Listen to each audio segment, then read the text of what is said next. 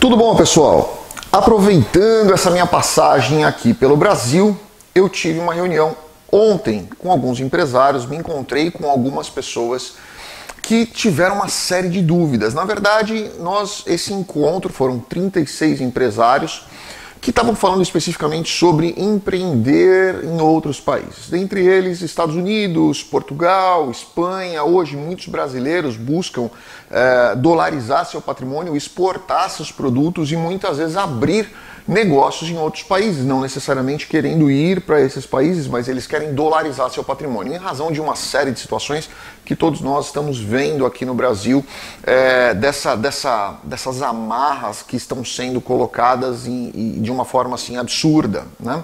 Então nós promovemos esse encontro, esse encontro foi online, nós, nós estamos fazendo vários encontros online.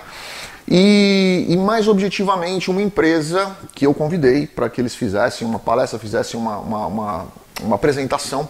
Essa empresa ela trabalha com implantação de negócios internacionais, franquias, mas elas não vendem franquias, elas, elas abrem franquias fora.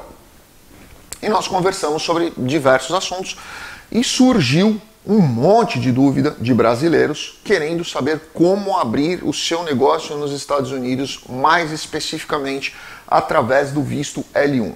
Muitas dúvidas em cima desse visto, eu conversei com eles, expliquei para eles. Esse é um visto que é protocolado no consulado, então é um visto que a pessoa já sai daqui de São Paulo com esse visto estampado no passaporte para ir para os Estados Unidos e eu acho que é uma coisa muito bacana a gente esclarecer essas dúvidas, porque eu anotei muitas delas aqui, eu acho que é a dúvida de muita gente. Muitas delas são dúvidas de muitas pessoas que pensam em empreender no exterior. Muitas pessoas acham que precisa de visto para empreender e não precisa, e nós vamos tocar nesse assunto nesse vídeo logo depois da vinheta.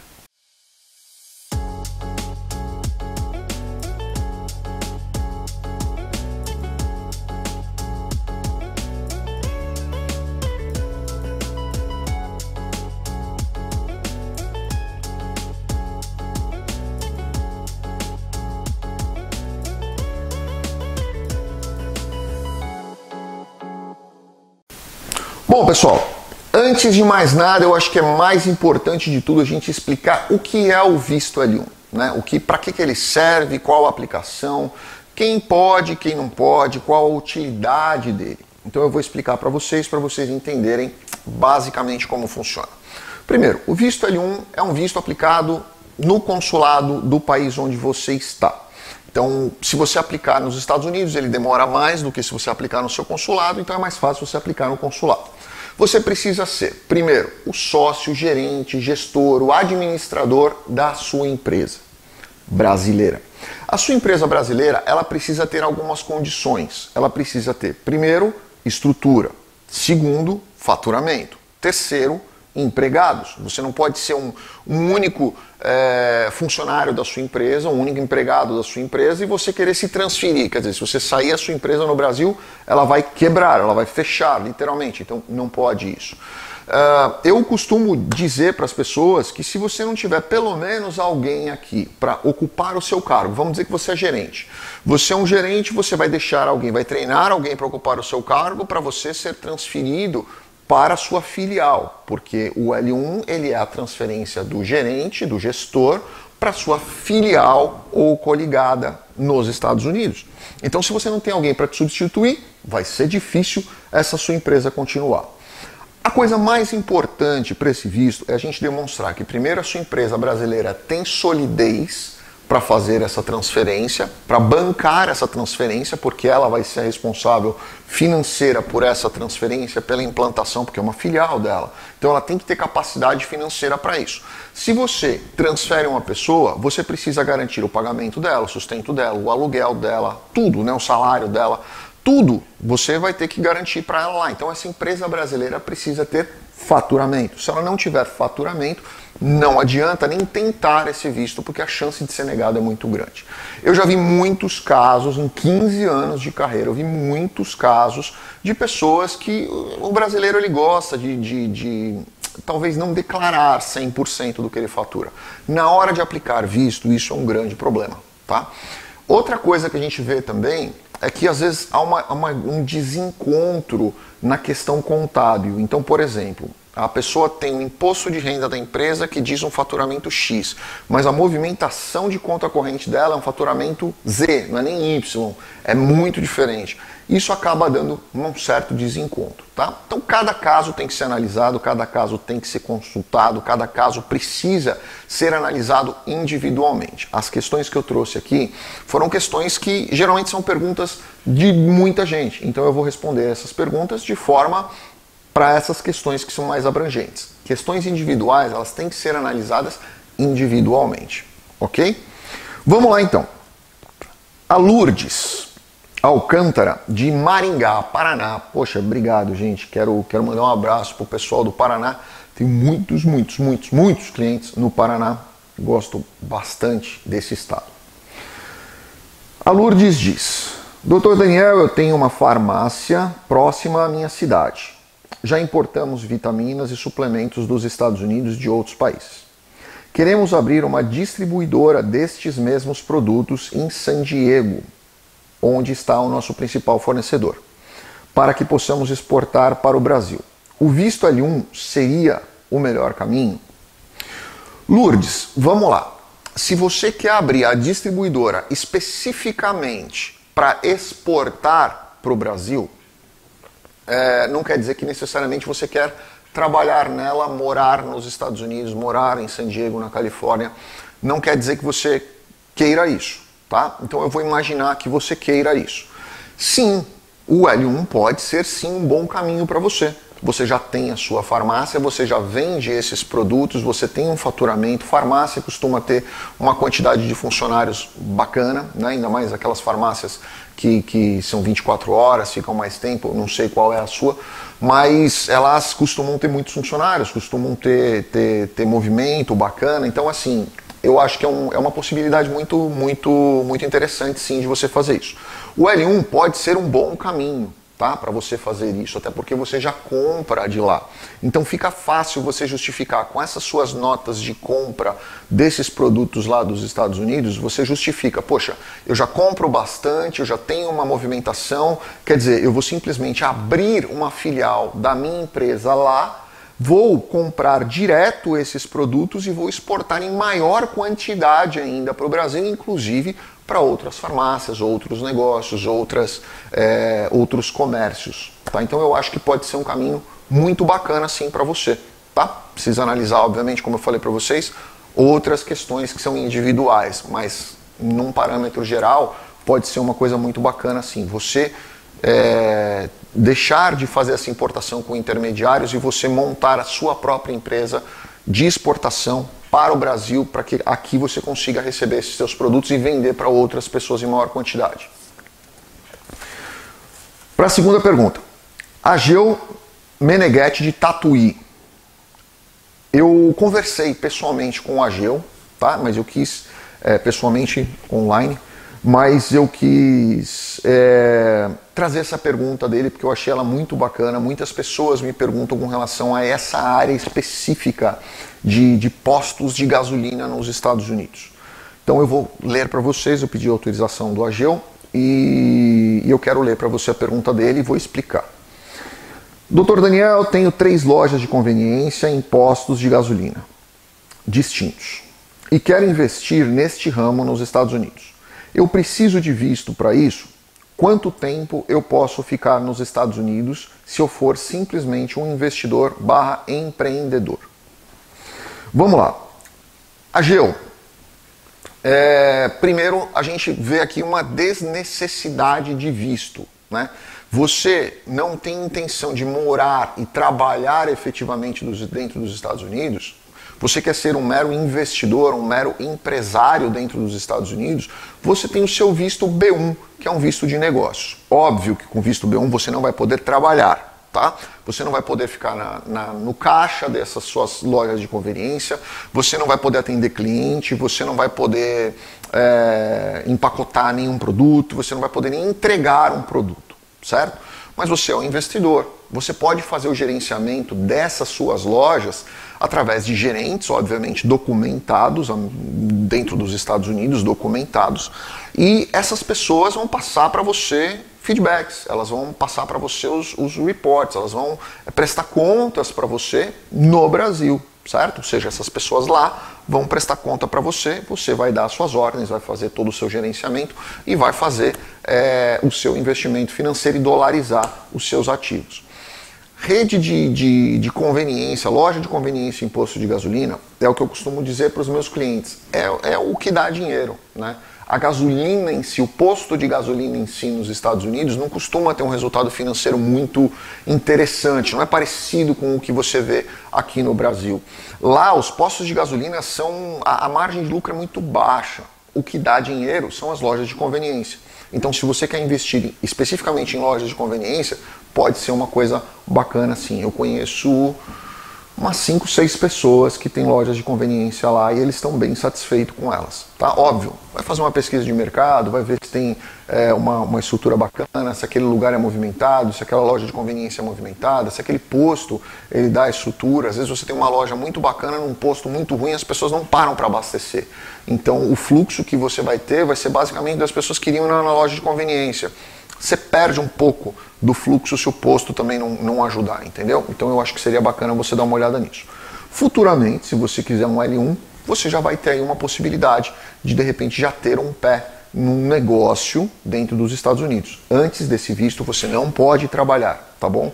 Visto B1 não dá direito de trabalho, ele é um visto de negócios, não de trabalho, não dá autorização de trabalho para você. Não confunda isso.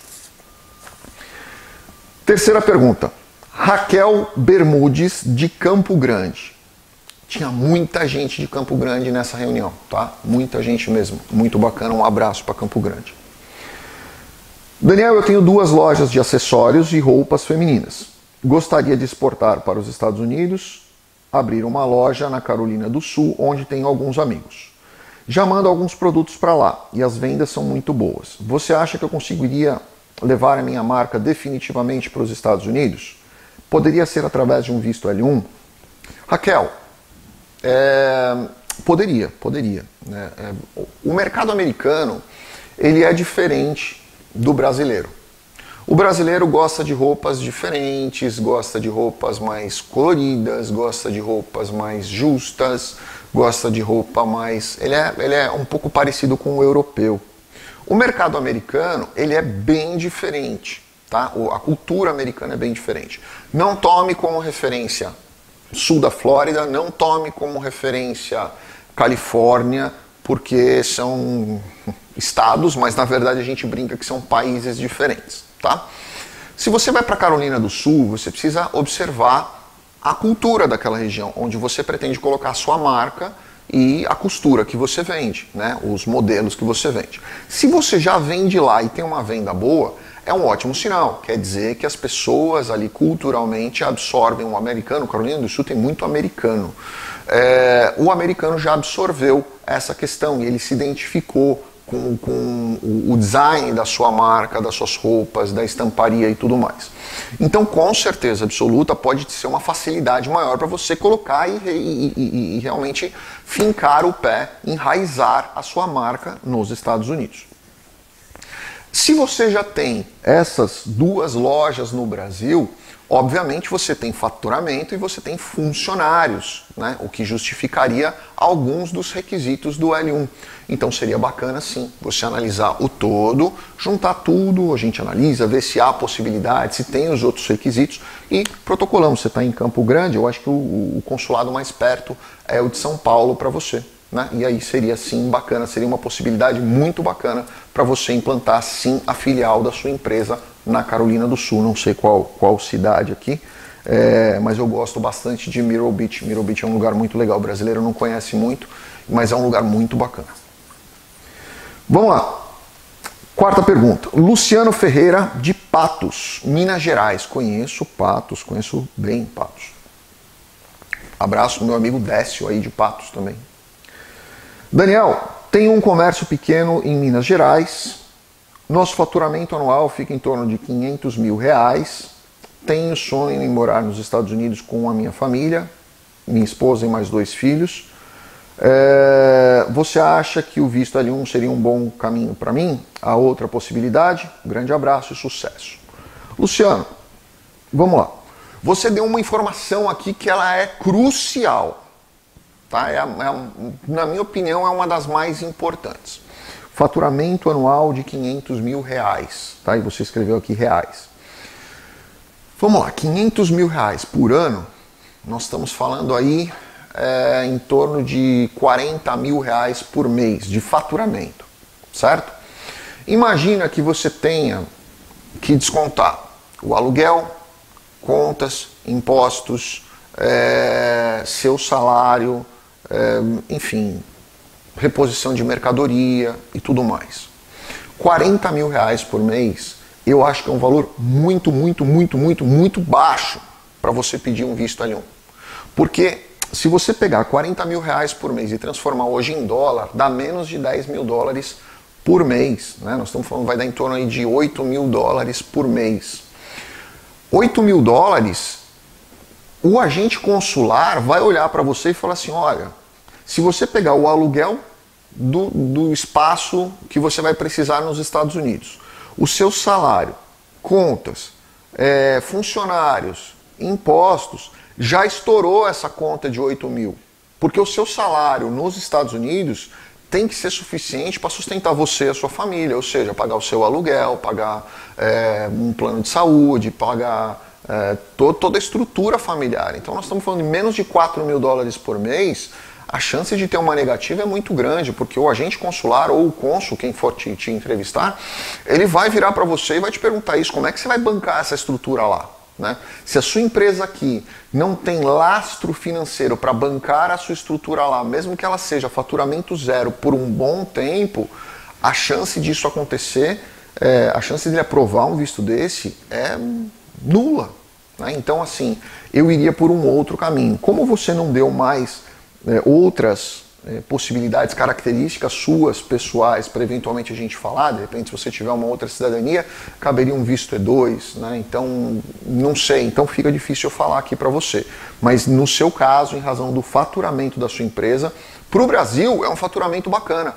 Mas se você pensar em estruturar um visto de, de migrante, né, mesmo que não seja um visto de imigrante, porque não é um visto, é, é um visto temporário, o L1 é um visto temporário, né? É, não é um visto que vai te dar green card, mesmo que seja nesse caso, eu acho que eles vão negar em razão do faturamento, tá bom? O real está super desvalorizado com relação a dólar, então quando você converte, que é o que eles vão fazer, vai dar uma diferença considerável. Eu não arriscaria. Ana Lúcia de Dourados. Daniel, estive em sua palestra em São Paulo e não entendi por que você disse que não cabe home office para vistos L1. Obrigada, parabéns pelo trabalho. Uh, possivelmente, Ana Lúcia, você deve ter ido na palestra em outubro, novembro, né? Porque essa agora não aconteceu e a gente tem feito encontros online. Então, essa pergunta aqui eu até marquei aqui que foi por e-mail. Vamos lá. Mas é bacana a sua pergunta. Não cabe home office justamente pela necessidade de contratação de um L1. Não tem como você fazer uma transferência de um gestor de uma empresa, imagina um diretor de uma empresa. Você vai transferir esse diretor para fazer a implantação de uma filial a filial vai ser na casa dele, né? Como é que os funcionários vão trabalhar? Como é que vai ficar estoque? Como é que vai ficar mercadoria? Como é que vai ficar é, tudo, acesso a cliente? O cliente vai na casa dele, vai entrar na sala dele, vai, vai, se o cliente precisar ver um produto, os produtos vão ficar na sala da casa dele. Então não cabe, não tem como, não vai se justificar num processo é, de L1, na hora que o cônsul pegar aquilo, ele vai olhar e falar: pô, peraí, não, você está querendo ir morar nos Estados Unidos, você não está querendo ir empreender nos Estados Unidos. Então, essa estrutura de home office, principalmente na, na, num L1, onde você tem que demonstrar que você vai contratar pessoas nos Estados Unidos, ele não cabe, não é possível, não, não, não, vai, não vai ficar bacana esse processo e possivelmente também não vai passar, tá bom? Então a estrutura de home office para um visto L1 não é indicada, não é recomendada, eu não gosto dela e diria para você que se fizer, possivelmente vai ter uma negativa muito grande, muito, muito rápida até, por sinal, porque ele, o próprio agente consular ou o próprio cônsul vai analisar e vai dizer para você, olha, não, não, tá bom? Bom, gente, eram essas perguntas, foram as mais comuns que as pessoas fizeram. Como eu falei para vocês, é, quando você pensa em ir para qualquer país, eu vou fazer agora também na sequência, eu vou colocar aqui um, visto, um, um vídeo para vocês falando sobre os vistos de Portugal, as perguntas mais corriqueiras, as que mais me fazem sobre vistos para Portugal. É, quero trazer um vídeo aqui para vocês para falar sobre a Geórgia. Não Geórgia, estado americano, mas Geórgia, país. Eu fiz um estudo muito legal, eu tive na Geórgia alguns anos atrás. Fiz agora um estudo super bacana, é um país extremamente é, bem estruturado, com custo de vida super baixo. Algumas pessoas estão enxergando negócios lá, formas de investimento lá, e eu quero trazer essas, essas dicas para vocês. É, eu acho muito bacana, muito bacana mesmo. Eu enxerguei agora, conversei com algumas pessoas, enxerguei aí três possibilidades é, para o brasileiro colocar produtos na Geórgia, né? eles, eles gostam muito dos produtos brasileiros, então eu quero trazer esse vídeo aqui para vocês, vai vir na sequência agora aí. Quem não se inscreveu no nosso canal, se inscreva aqui. Na descrição tem todas as nossas redes sociais. Eu estou postando diversos artigos. Eu não sei se vocês chegaram a ver essa época de Covid. Eu escrevi muito, muito, muito, muito. A gente publicou muito, muito mesmo. Eu costumo dizer isso para todo mundo. Eu acho que uma grande forma de você aprender sobre aquilo que você faz é você estudar e escrever, porque escrevendo você ensina, né?